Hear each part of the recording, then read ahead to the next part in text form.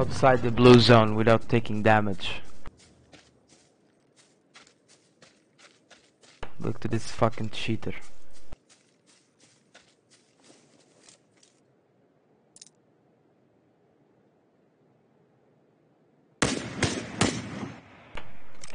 Good job.